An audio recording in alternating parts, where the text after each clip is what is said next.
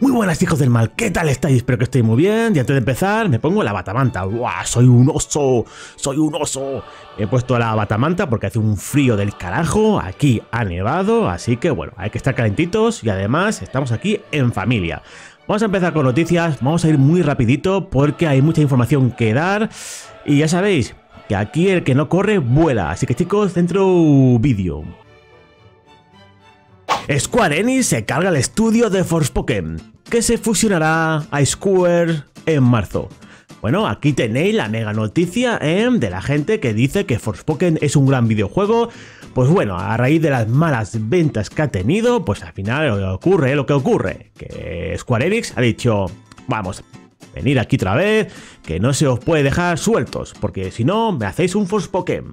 Y no queremos un Forspoken 2. Y me sabe muy malo por la gente que lo compró. Pero hay que decirlo, si un juego no vale la pena, se dice, si un juego es mediocre, se dice. Y da igual la compañía que sea, Nintendo, Xbox, Steam, PC, da igual. Hay que decir cuando un juego no es bueno. Porque al final está un juego el qué, tu dinero. La gente que lo compra legal, pues merece saber la verdad. Así que chicos, continuamos. Se filtra una imagen de Starfield y me diréis, wow, de ahora, no. De 2018. Se ha filtrado una build de 2018 cuando el juego estaba en pleno desarrollo. Y bueno, y me diréis, ¿y esto qué importancia tiene? Pues la importancia que tiene es nula. Es simplemente campaña de marketing pura y dura. ¿Por qué? Porque el juego ha perdido ese hype ha perdido esa emoción por tenerlo. Obviamente, sí, lo queremos, obviamente sí lo vamos a jugar, pero hay que volver a crear un hype que se ha ido disolviendo, disolviendo, diluyendo, ha desaparecido. ¿Y qué están haciendo? Pues poco a poco vuelven a intentar crear un hype para que vuelva otra vez el interés por este videojuego.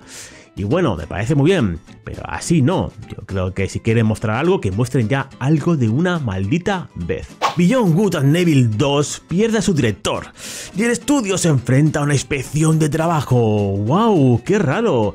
Ubisoft con problemas. Bueno, aparte de este juego, tenemos el Skull and Bones que también va a la caja de Pandora. Todos estos juegos que Ubisoft está cancelando o tiene problemas de desarrollo al final acabarán en esa caja de Pandora. El día que se abra la caja de Pandora, moriremos todos. Esto indica que Ubisoft está pasando por un mal momento, una situación económica muy grave. Y con el tiempo puede ser que lleguemos a ver como Microsoft o Sony compre el estudio, compre toda la marca Ubisoft. Este juego pinta muy mal. Cuatro juegos interesantes que deberíais saber. Street Fighter Duel ya disponible para teléfonos móviles iOS y Android. Ya sabéis, es un juego de Street Fighter de rol. No esperéis un juego de Street Fighter de lucha al uso. Es un juego diferente, es un juego de rol ambientado en Street Fighter. Tiene buena pinta. El Taumaturgo es el nuevo proyecto de 11 Bits Studios, como editora. Ya sabéis que es un estudio fundado por programadores de CD Projekt y Metropolis Software. En este caso es un juego RPG donde la toma de decisiones será crucial y muy importante, ambientado en el siglo XX. Este juego pinta muy bien y aunque es un juego diferente, no esperéis un CD Projekt, no esperéis un Cyberpunk, es un juego que hay que darle una oportunidad. Ahí lo tenéis, el Taumaturgo. Cry China se lanza el 6 de julio para Play 4, Play 5 y Switch en Japón, pero en otoño llega para todo el mundo y también para PC. Es un juego que si os mola Astra Chain de Nintendo Switch, si os mola Xenoblade o Bayonetta, es de corte muy japonés, pero si os mola, ya sabéis, Cry Machina, lo tendréis próximamente. Post Void se lanza el 16 de marzo para PlayStation 4 y Switch. Más adelante para PlayStation 5, sí, igual que Baldur's Gate 3, que también sale para Xbox. Este juego, Post Void, es un shooter en primera persona. Si os moló los Doom retro de toda la vida, este será vuestro juego. Diablo 4, ya sabemos con qué clases vamos a poder jugar. En este caso, en la primera beta, que es para la gente que ha reservado el videojuego, se podrá usar al bárbaro, al pícaro y al hechicero. Una vez se lance la beta abierta para todo el mundo, aparte del bárbaro, pícaro y hechicero, también podremos jugar con el nigromante y el druida. Una Switch más potente llegaría junto al DLC de Pokémon Escarlata y Púrpura. Según la filtración de los creadores de la Switch Pro durante muchos años, ¿eh?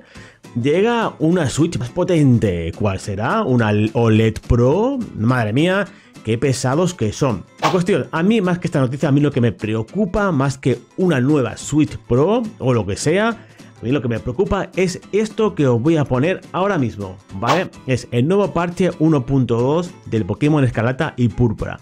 Vaya desastre. Yo esperaba un parche que sí, han arreglado un montón de cosas, pero el tema rendimiento lo han dejado intacto.